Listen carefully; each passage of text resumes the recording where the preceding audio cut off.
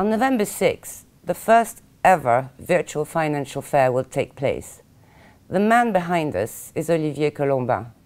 He's head of independent asset managers for Lombard Odier, and he's also the founder of E-MERGING. Olivier, welcome to the studio. Thank you, Nicolette. Thank you for the invitation. Now, Olivier, what is a virtual FinFair? Okay, a virtual FinFair is a fair dedicated or devoted to independent finance experts that will take place on the 6th of November, as you mentioned, and from 9 a.m. to 9 p.m., and that will be accessible online only and in 3D, in a three-dimensional environment. Why online and why in 3D? Because the people we would like to invite on this uh, fair are players that are located in 50 different countries. So you can imagine that um, in terms of investment, in terms of time, money, logistic, and carbon footprint, uh, we cannot afford such an investment. So facing this uh, challenge, we've decided to look for uh, software that could help us to um, recreate in 3D an, a fair in which we would have uh, booths, visitors, exhibitors, uh, but we didn't know any uh, software like that. And by chance, uh, we've uh, we found a startup, a Californian start startup that was working on that kind of, uh, of software.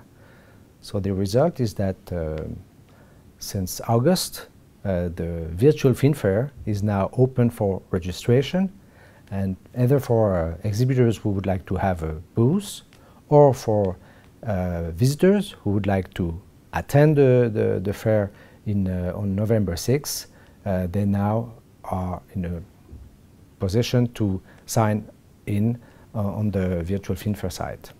So two questions. This is reserved for your members, for the E-MERGING members. Yes. Uh, the objective is to invite all the members and their employees, I mean all the companies that are uh, members on the site and their employees, approximately 10,000 uh, people, and uh, the exhibitors would be able to uh, invite their own guests. Okay, well let's step back a little this is being done within the context of E-MERGING.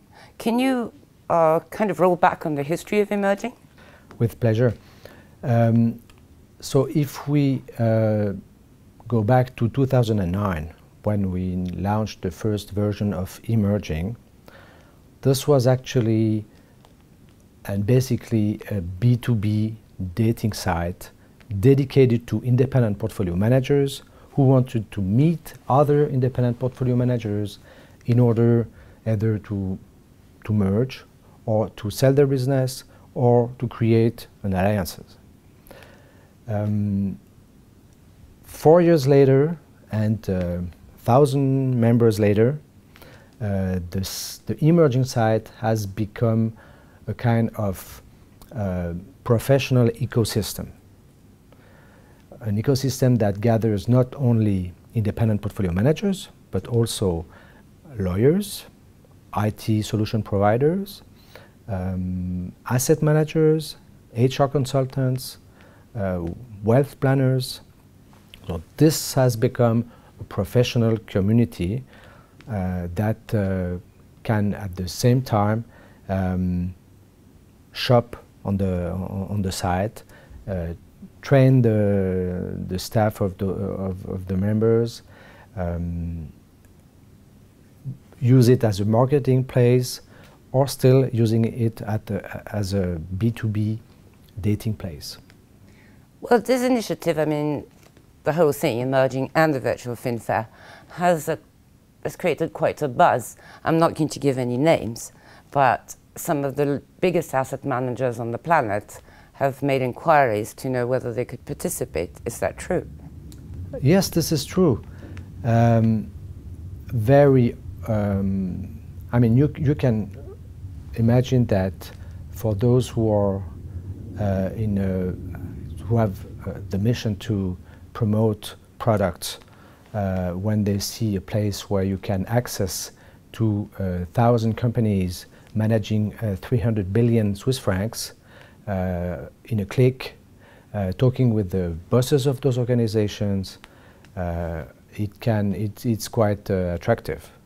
So as long as we were talking about the E-MERGING side, which, were, which is a kind of closed community because we do, um, we do accept each new member and each new um, partner.